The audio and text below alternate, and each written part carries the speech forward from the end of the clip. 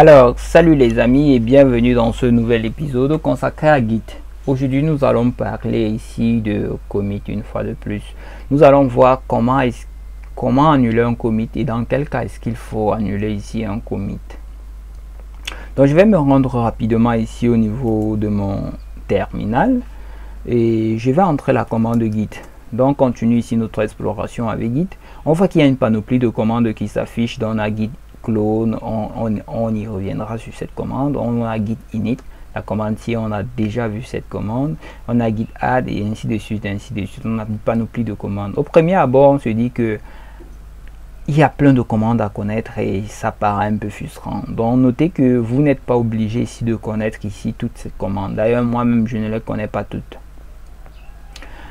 Donc tout au long de la formation, dans les vidéos à venir, nous allons voir uniquement ici les commandes qui sont indispensables pour pouvoir travailler en équipe et nous allons voir ici euh, les commandes qui nous permettront de bien manipuler ici nos fichiers avec Git.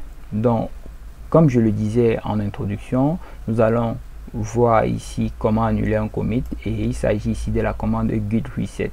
Cette commande fait beaucoup de choses, mais nous allons nous attarder ici euh, sur comment l'utiliser ici pour annuler un commit.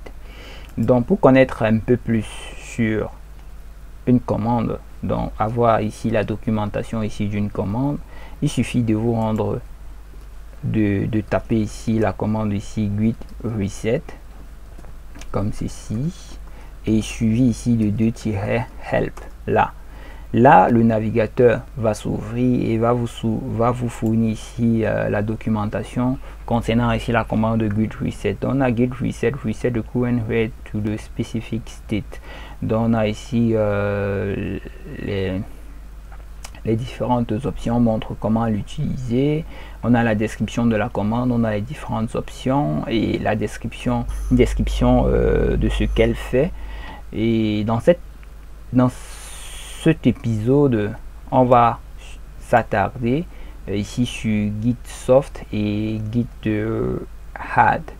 Donc, si vous voulez en savoir un peu plus ici sur les autres options, c'est-à-dire Git Reset, vous avez Git Mage, Git Reset Made, vous pouvez venir ici lire et faire des tests. Vous avez aussi euh, l'option point keep. Vous allez pouvoir lire et faire des textes. Et ici un peu plus bas, on vous montre ici euh, comment utiliser ici euh, les autres commandes. Donc on vous montre aussi, c'est un peu détaillé à ce niveau-ci. D'accord? Donc on vous montre comment ça, comment l'utiliser. Donc si vous voulez en savoir un peu plus sur cette commande, je vous recommande de venir lire ici. Donc on va aller tout de suite à notre euh, TP. Donc je suis au niveau de mon dossier LearnGit. Donc si je fais ici un ls, on voit qu'on a les chapitres précédents. Donc je vais créer ici euh, un nouveau dossier euh, que je vais appeler ici chapitre 4. À l'intérieur ici du chapitre 4, ici je vais créer un nouveau fichier. Un fichier texte bien sûr que je vais appeler ici file.txt. J'ouvre ici mon projet, c'est-à-dire le dossier 4 non, j'ai pas créé. Bon, excusez les gars. Je, si je fais un ls, donc on va voir que j'ai mal fait. Donc je vais me rendre ici. Donc je pouvais directement copier le fichier au niveau ici du dossier, mais je vais laisser ça comme ça. Et je vais me rendre tout simplement ici au niveau du dossier. Donc, au niveau du dossier chapitre 4, d'accord Je me rends ici au niveau du dossier chapitre 4. Ici, je vais créer ici le fichier en question que ça soit plus simple. Donc pour déplacer, vous allez utiliser la commande rm et puis vous mettez le nom du fichier suivi du répertoire. Là, ça va déplacer pour ceux qui veulent savoir comment déplacer sur le fichier en question. Donc, euh, si je viens à ce niveau, d'accord, j'ouvre ici mon projet chapitre 4 au niveau de mon éditeur de texte favori qui est VS Code pour les plus intimes. Donc à ce niveau, je vais entrer un texte que je vais dire bonjour le monde et je vais une fois ce texte entré, j'initialise ici mon projet en tant que dépôt git. Donc je fais un git init. Je pense que vous deviez déjà être habitué à ces commandes ici. Je fais un git add et puis je fais ici un git commit. M donc je vais mettre ici euh, first commit. Ok. Si je fais un git log donc on va voir que j'ai bel et bien ici un commit. Donc je me rends à nouveau ici au niveau de mon éditeur de texte et je vais entrer ici euh, donc vous avez vu que lorsqu'on a réalisé notre premier commit on avait une seule phrase ici bonjour le monde donc je vais entrer ici euh, trois points de suspension où sont les enfants comme ceci. Et je j'enregistre à nouveau. Je viens à ce niveau. Je vais réaliser ici un deuxième commit je fais à nouveau un git add. Ensuite je fais un git commit moins m.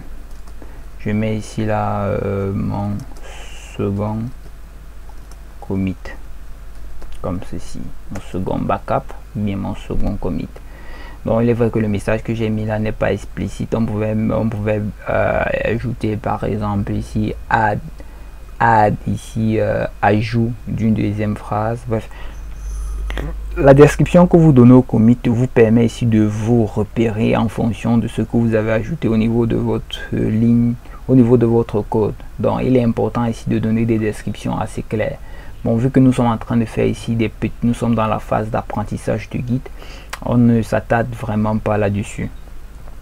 Donc, si je fais un git log, d'accord, on va voir qu'on a là présentement deux nouveaux commits et je me rends ici à nouveau on a deux commits et je vous fais on remarque ici que on a commis ici des fautes au niveau de la phrase ici euh, où sont les enfants donc on a oublié ici un s et à ce niveau aussi le u doit avoir un accent donc j'ai commis ces, ces, fautes par erreur donc on va voir la première option. Comment annuler un commit? Donc on a commis une erreur et il y a deux façons d'annuler ici un commit. Donc on va voir la commande ici git reset d'accord? Git reset ici euh, add d'accord? Lorsqu'on précise ici euh, l'option git reset add ce qui fait c'est quoi? Git reset annule ici toutes les modifications qu'on a eu à faire et nous ramène ici au commit de base donc là on a notre premier commit et ici on a ici notre là on a notre premier commit autant pour moi first commit et ici on a notre deuxième commit le commit, ça c'est ce commit. C'est après avoir ajouté ici où sont les enfants qu'on a réalisé ce commit. Donc c'est après avoir ajouté ici euh, où sont les enfants qu'on a réalisé notre deuxième commit. Donc si je fais ici un git reset add suivi ici euh, de l'identifiant du commit comme ceci. Donc suivi ici de l'identifiant du commit. Ce qui va se passer c'est quoi? Toutes les modifications que j'ai eu à ajouter vont être supprimées. Donc toutes les modifications que j'ai eu à ajouter après ce commit ci donc toutes les modifications que j'ai eu à ajouter après ce commit vont être tout simplement supprimées. Et donc pour vous prouver, je vais taper ici un git reset add et puis je tape sur la commande ici entrée. Et si je tape ici git log, on va voir qu'on a présentement un seul commit. Donc on revient ici au commit de base et toutes les modifications qu'on a eu à faire au niveau de notre fichier sont supprimées. Donc la phrase où sont les enfants? ne sera plus présente. Donc comme vous pouvez voir, où sont les enfants a disparu. Donc ça c'était dans le premier cas. Donc il peut arriver que vous avez eu à, en développant votre application et vous avez eu à ajouter ici pas mal de lignes de code et après il y a une ligne de code qui pose ici un bug et vous n'arrivez plus à vous retrouver. Donc pour rentrer tout simplement la version stable sans annuler ici. Pour rentrer à la version stable, vous tapez tout simplement un git reset et puis ça efface ici toutes les modifications que vous avez eu à faire et ça vous ramène ici à la version stable, directement la version précédente qui est stable. Donc je vais continuer ici. Euh, on va continuer notre exploration. On a vu comment utiliser ici Git Reset. Bon, maintenant on va voir comment utiliser Git soft d'accord? Donc je continue ici je vais mettre ici encore à nouveau où sont les enfants d'accord? Comme ceci et j'enregistre à nouveau je me rends au niveau de mon terminal et je tape ici un git euh, add d'accord? et je tape désolé et je tape ici un git euh, commit. Et je commit moins m. Et j'entre ici là mon second commit. J'entre ici mon second commit. D'accord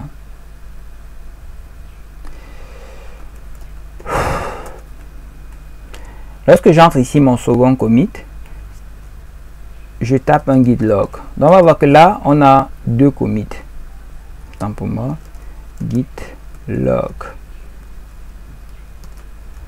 On va voir que là on a deux commits. On a notre second commit le commit qu'on vient de faire et on a notre premier commit le commit qu'on a eu à faire depuis au début de la vidéo. Et on se rend compte que là on a oublié ici de mettre s au niveau d'enfant d'accord? Il y a deux façons de corriger le commit il y a deux façons on peut cette fois-ci, ne peut utiliser git. Cette fois-ci, on peut utiliser ce qu'on appelle un git soft. Un git reset avec l'option ici, avec l'option ici soft. Le git reset avec l'option ici soft, qu'est-ce qu'il fait? Il annule tout simplement le commit en conservant ici les différentes modifications qu'on a eu à faire après avoir fait notre, notre commit précédent. Donc si je fais ici un git soft, notre commit, c'est-à-dire euh, le commit euh, sera annulé et on va pouvoir ici ajouter ici nos, différentes modifications d'accord? Donc je vais faire rapidement ici un git soft pour que vous compreniez mieux donc si je fais ici un git soft je sélectionne ici euh, donc je viens je fais ici un git soft git reset avec l'option ici soft d'accord. Je viens copier ici euh, l'identifiant de ce commit d'accord. Donc vous n'êtes pas obligé aussi de copier ici euh, entièrement l'identifiant du commit vous pouvez prendre même les six les six les six premiers caractères de l'identifiant du commit cela va toujours fonctionner. Donc si je tape ici un git soft ce qui va se passer c'est que ce commit sera annulé mais nos modifications ici c'est à dire la phrase où sont les enfants? sera conservée. Donc je viens ici, je tape entrée. Si je tape ici un git log, on voit qu'on a bel et bien un seul commit, c'est-à-dire notre first commit, et le commit si a été annulé. Mais si je me rends à ce niveau, on va voir qu'il n'y a aucune modification ici au niveau de notre fichier. Donc on peut tout simplement ajouter un S, d'accord? On peut tout simplement ajouter un S et, et réaliser à nouveau un commit. Donc on ajoute un S et on réalise un nouveau un commit. Donc après, je vais vous montrer comment corriger également ce UCI. Donc on va réaliser un commit présentement. Donc je fais ici un git add point. Est-ce que j'ai enregistré? Donc j'enregistre d'abord, d'accord? Je fais ici un git add point, d'accord? Si je fais ici un git euh, log, vous allez voir que j'ai toujours mon seul commit qui est first commit, j'ai fait un git statut.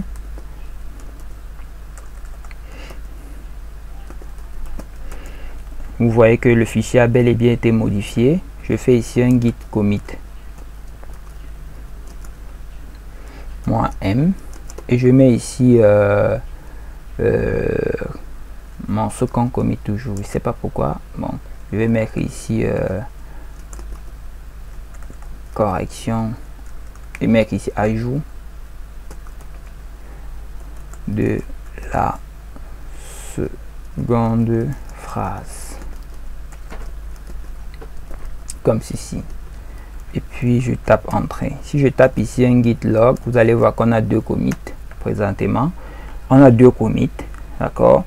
Euh, le commit 1 qui est le commit de base et on a git ajout de la seconde phrase. Si je viens à ce niveau, on voit que notre fichier a bel et bien été commité avec euh, S ici. D'accord? Bon, maintenant, est-ce qu'il est possible ici de corriger cette erreur sans toutefois ici euh, sans toutefois ici euh, annuler le commit Oui, dites on peut bel et bien corriger cette erreur sans toutefois ici annuler le commit. Donc, on a vu comment utiliser Git on a vu comment utiliser Git Soft. Bon, maintenant, on va voir comment corriger l'erreur en question sans toutefois ici euh, annuler le commit. Donc, si je viens à ce niveau, je vais faire, je vais corriger d'abord mon erreur. D'accord? Je viens à ce niveau. Je corrige cette erreur avec U. D'accord? Parce qu'il peut être un peu fastidieux d'annuler le commit, faire un git add, faire un git euh, avant de faire ici un git commit et remettre à nouveau l'erreur. Donc, je vais vous montrer comment corriger cette erreur. Donc là, maintenant, j'enregistre. Et si je me rends à ce niveau et je fais ici un git log, un git statut, on va voir que le fichier a bel et bien été modifié. On voit que notre fichier a, bien été, a bel et bien été modifié tout simplement parce qu'on a ajouté un U à ce niveau-ci. Donc maintenant, on va voir comment euh, intégrer la modification de ce U-ci à notre dernier commit. Donc pour ce faire, c'est simple. On va tout simplement ici faire, on va tout simplement ici faire un git add comme précédemment. Ensuite, on fait un git un git euh, commit. Ensuite, on fait un git commit, d'accord Et on fait ici euh, tiret tiret amen, d'accord donc on fait un tiret tiret amen. Lorsqu'on fait ceci, lorsqu'on fait un git commit tiret tiret amen, ce qui se passe c'est quoi? Les, les dernières modifications qu'on a eu à faire, c'est-à-dire la modification de ce fichier, sera tout simplement ajoutée à notre commit précédent, c'est-à-dire à ce commit commit 2. Donc si je tape entrée, mon éditeur de texte va s'ouvrir, mais il existe une option ici, tirer tirer no quelque chose que je vais vous laisser aller chercher pour que l'éditeur ne s'ouvre pas. Donc je vais vous laisser ça, vous allez chercher, donc vous pouvez mettre tirer tirer no quelque chose. Je vais vous laisser aller chercher pour que l'éditeur ne s'ouvre pas. Donc si j'entre ici, git commit tirer tirer amen Ici, je tape Entrée. Cela va me donner ici la possibilité de modifier ici le texte qu'on a mis sur notre deuxième commit. Donc, je vais taper rapidement ici sur Entrée. Et on a la possibilité ici de modifier euh, le texte ici. Donc, je vais mettre ici euh, correction ici de U. Donc, je vais mettre ça rapidement comme ceci. Donc, pour modifier ça, Lorsque vous êtes à ce niveau, c'est ça c'est Vim, c'est un éditeur au même titre que Bloc Note. Donc vous appuyez sur la touche I, vous passez ici en mode insertion, vous venez à ce niveau, vous ajoutez le texte que vous voulez ajouter. Donc on va mettre ici euh, correction de U, d'accord? Et ensuite, une fois que ceci est fait, vous appuyez sur échappe pour sortir du mode insertion vous sortez du mode insertion, vous appuyez sur deux points, ici, regardez ici en bas, vous appuyez sur deux points, comme ceci, ça met un deux points, vous appuyez sur W, vous appuyez sur Q, comme ceci, et puis vous tapez sur Entrée. Votre modification a été bien prise en compte. Ensuite, si vous faites ici euh, un git euh, log, vous allez voir que vous avez deux modifications, et on a là, second message, correction du U, et tout est clean. Donc à ce niveau, c'est propre. Donc j'espère que cette vidéo vous a plu. Et rendez-vous dans la prochaine vidéo. On verra d'autres choses beaucoup plus intéressantes. N'hésitez pas à partager, à liker et à laisser un commentaire. D'ici là, portez-vous bien. Ciao, ciao.